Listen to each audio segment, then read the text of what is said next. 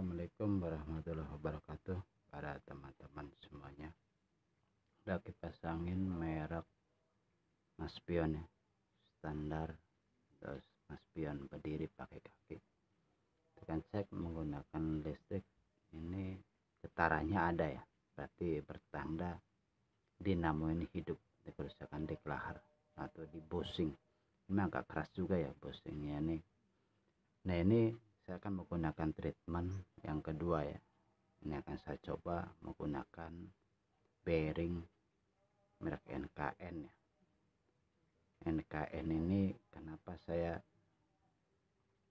sangat percaya ya NKN ini? Karena posisinya di asnya ini sangat pas sekali ya 608 NKN ini termasuknya untuk di as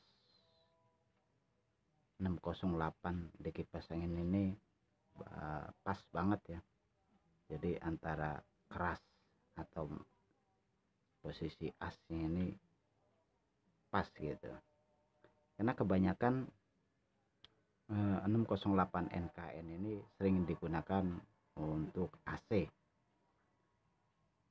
uh, indoor ya terutama AC indoor itu 608 ya ini saya akan melakukan treatment yang kedua kali ya. Karena yang kemarin saya Alhamdulillah berhasil ya.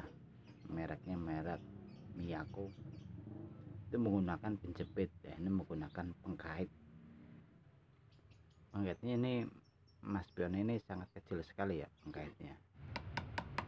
Nah, saya akan coba bukanya dulu ya. Kita akan sama-sama belajar.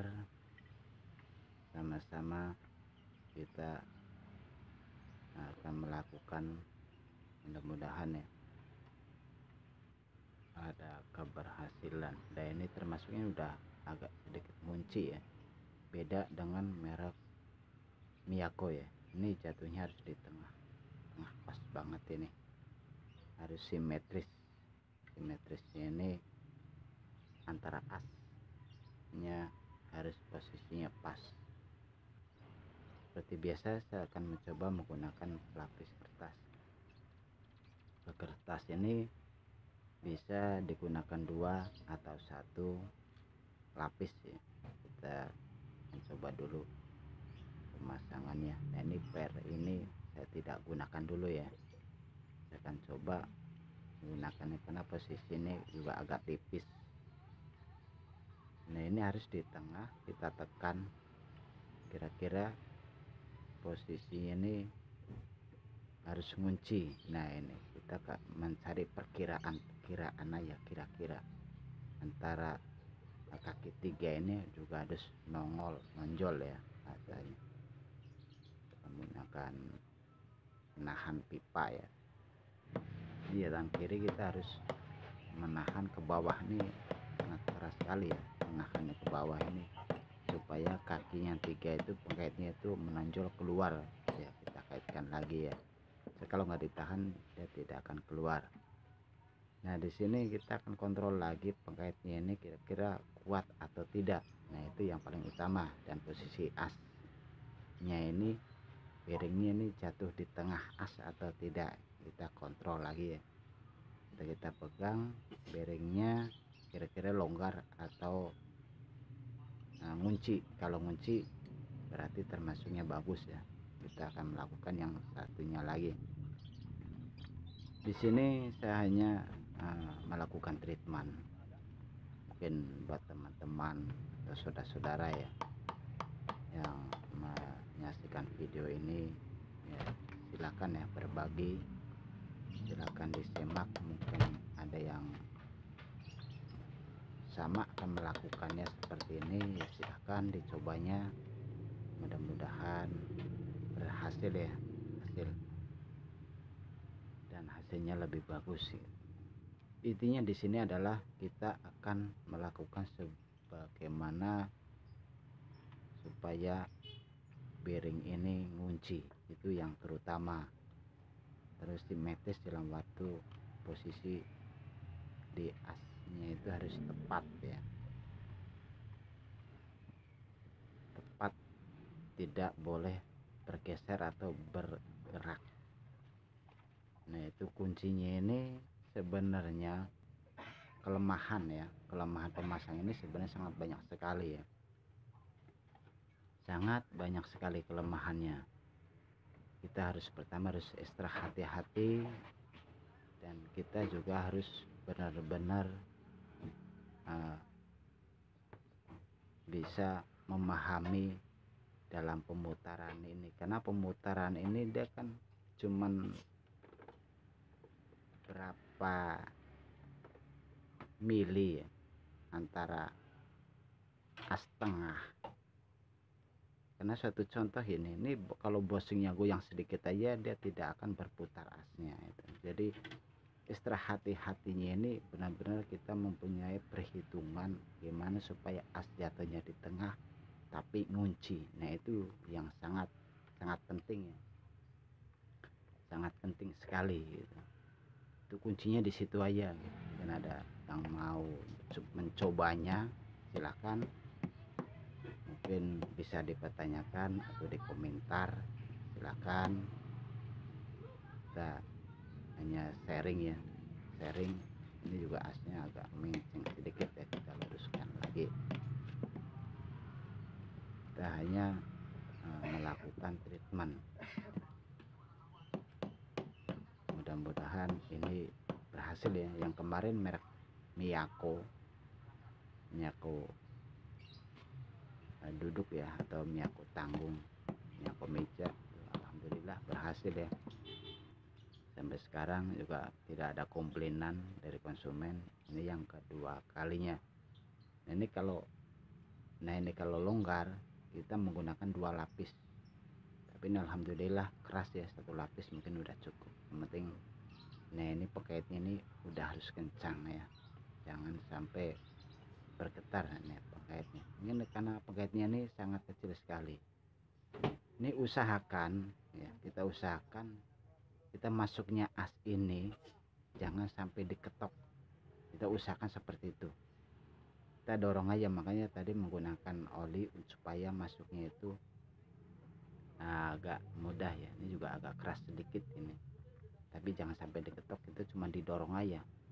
Nah kita dorong paksa supaya as ini masuk. Nah gitu. Yang penting jangan sampai diketok menggunakan palu. Karena diketok itu akan bergetar ya kan? Bergetarnya itu merubah posisinya. Karena posisi kan udah pas. Nah, saya himbau pada teman-teman seperti itu ya. Jangan sampai memasukkan AC ini jangan sampai diketok gitu.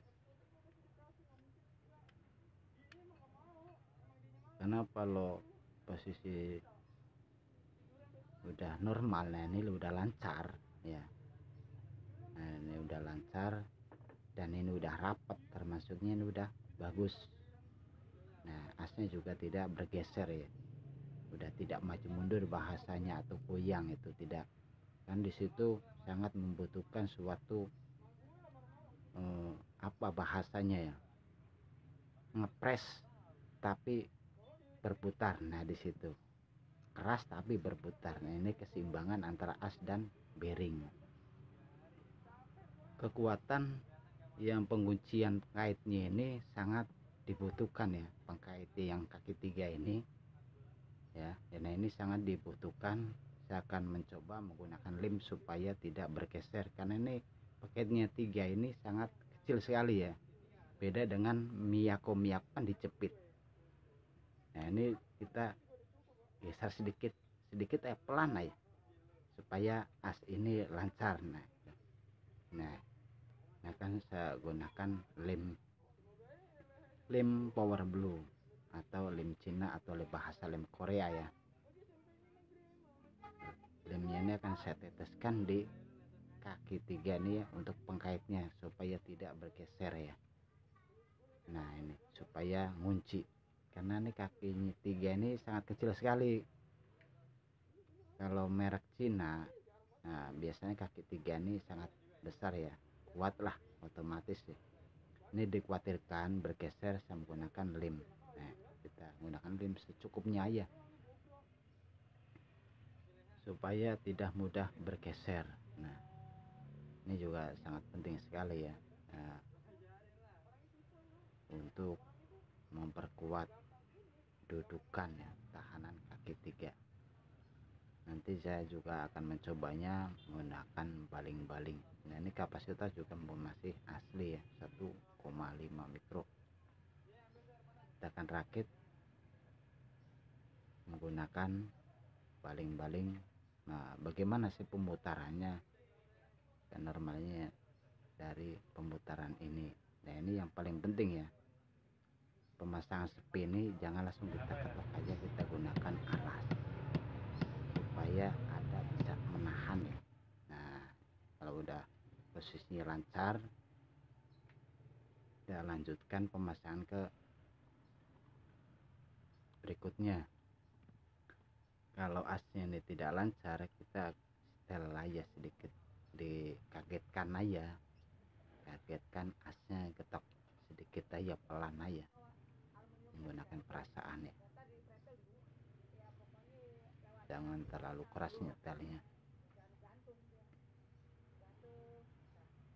mudah-mudahan ya mudah-mudahan sih berhasil. Alhamdulillah ya ini termasuknya lancar ya. Dan pemutarannya juga tidak ada yang menghambat ya, atau Alhamdulillah. Mudah-mudahan dalam waktu kekuatan ya terutama kekuatan dalam browsing ini ya mudahan kuat lama.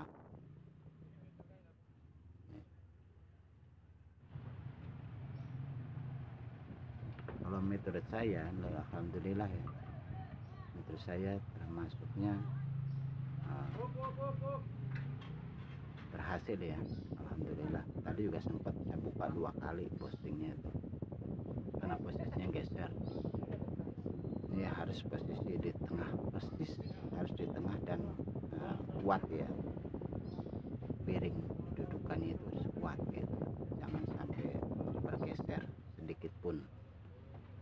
Karena pemutarannya as ini sangat kuat mereknya Mas Pion pemutarnya termasuknya sangat kuat tenaganya. Terima kasih. Assalamualaikum warahmatullahi